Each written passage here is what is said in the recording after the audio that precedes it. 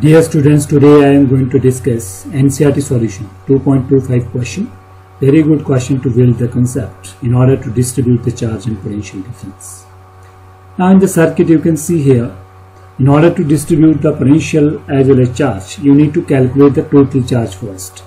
Now I can write here total charge can be written as total capacity into total potential. This is the way how you get the total charge distribution. Let's see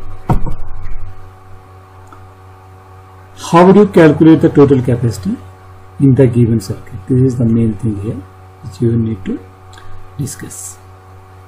Now let's see in the given diagram these two capacitors they are in series. If they are in series, their calculation can be written as 200 into 200 divided by 200 plus 200 that will be 400 and finally you will get 4 4 cancel out 2 0 cancel out that will be 100 pico farad. When you see other part of the circuit this is C1 capacitor which is connected with this in parallel if this is in parallel then capacity can be written as what? That is 100 plus 100 that will be 200 pico farad. Further let's see. This one capacitor that is connected with this in series and new capacitive circuit become like this. This is 1 is 200 and that is 100 now total capacity can be written as what? That will be 200 into 100 divided by 200 plus 100 that is 300 2 0 will cancel out and final capacity in the circuit is 200 by 3 picofarad. This is the final capacity. In order to calculate the total charge, let's see in the circuit how do you calculate the total charge. Total charge is equal to total capacity into total potential. Total capacity is 200 upon 3 pico means 10 raised to minus 12 and into 300 volt. Here 3 and 3 will cancel out 2 0 will also cancel out. Now total charge can be written as 2 into 10 raised to power minus 8 coulomb. This is the total charge flowing through the supplied by the battery.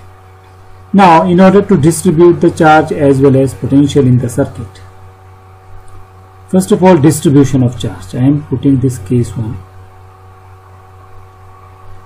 which is named by distribution of charge distribution of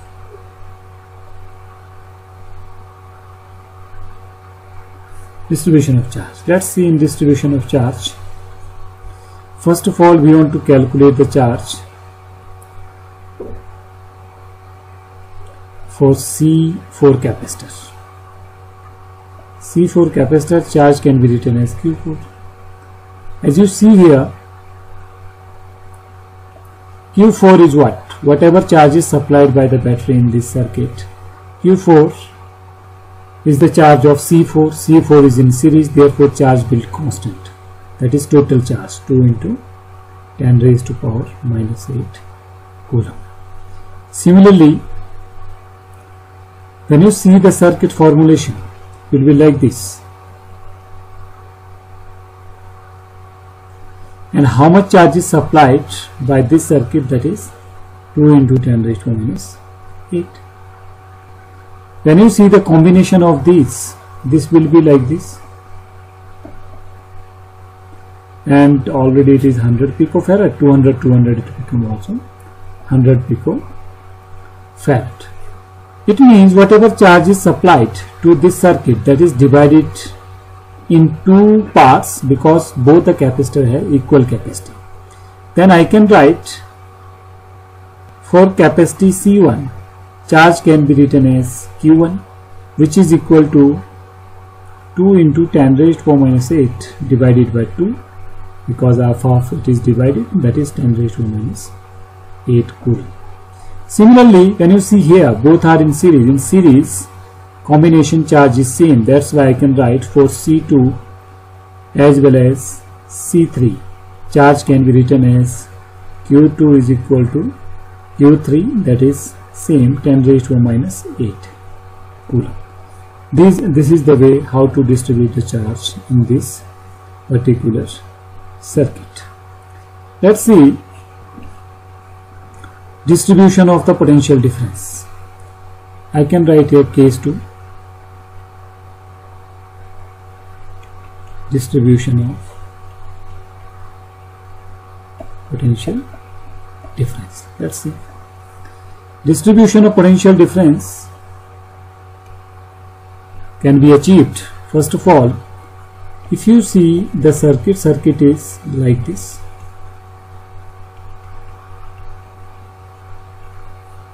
And here I am getting 300 volt. And this is 100 picofarad this is also 100 this is 200 and this is 200 let's see. Across this capacitor across this capacitor when you want to calculate the potential I can write this is C4 then potential can be written as V4 you know in series capacitor will drop the potential V is equal to charge flow through that capacitor and capacity that is C4 charge is constant you know that is 10, 2 into 10 raised to minus 8 and divided by C4 is 100 and finally 100 picofarad. Pico means 10 raised to minus 12 and you will get 200 volt supply. It means potential dropped by the capacitance C4 is 200 volt. You know this is the circuit where is 100 this is 200 capacity. This is also 200 capacity. How much charge is supplied by it? Let's see. That will be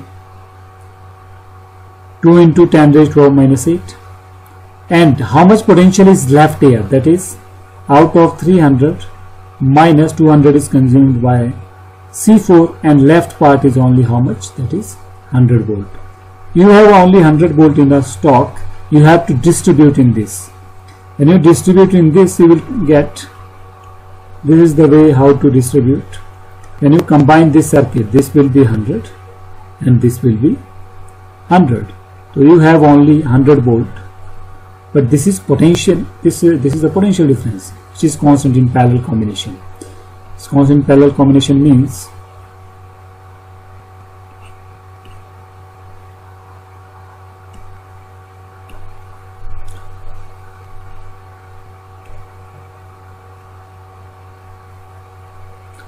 here potential across C2 I can write that is V2 which is equal to Q charge is how much? 10 raised to minus 8 divided by C is 100 into 10 raised to power minus you can say 12 and you will get how much 100 volt. As you know in potential in parallel combination potential is constant as we have calculated that is 100 volt. Now in bottommost especially in these two this is 200 and this is 200 whatever potential you are getting here that is 100 volt.